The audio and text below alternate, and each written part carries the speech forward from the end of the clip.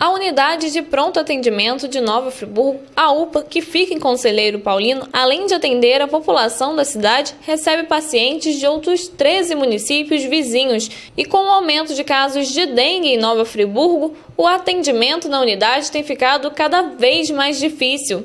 O secretário de Saúde, Rafael Tavares Garcia, informou na última semana que Nova Friburgo já está com epidemia da doença.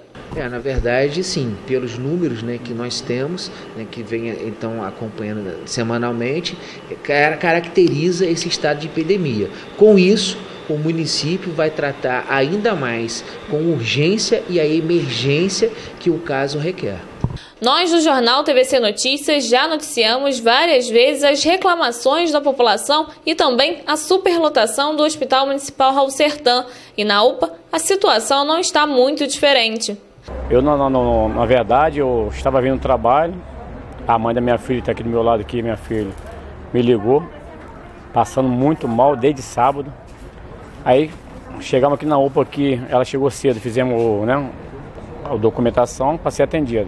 Mas aparentemente você pode ver que não deixa nem filmar, mas eu, pelo que eu falei, muita gente passando mal.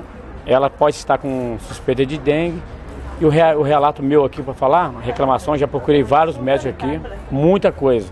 Fui em vários consultórios, a maioria dos consultórios vazio, não tem médico aqui na, na UPA.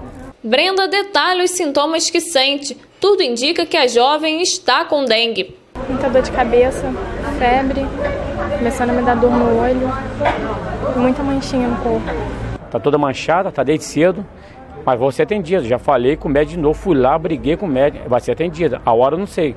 Mas enquanto ela não fizer o exame dela e não sair daqui com o exame na mão, daqui também eu não saio também não. Eu estou aqui como cidadão friburguense, eu pago meus impostos, então esse vai ter que continuar assim. Ninguém vai sair daqui não. Lá dentro, gente, é, não pode filmar lá dentro. Deve ter mais de 100 pessoas, né?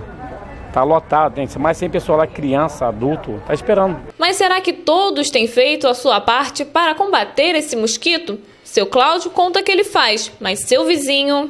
É, a população hoje em dia, cara, é de 10, de 10, de, de 10 moradores na Friburgo, vou botar 7, não toma conta do seu quintal direito, né? Infelizmente.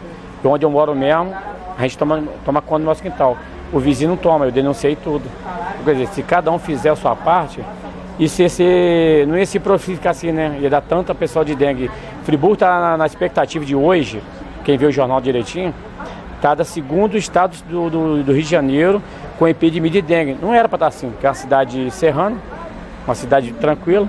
Agora não, agora já está virando a vergonha da cidade. Acho que se cada um fazer a sua parte, nada disso aconteceria.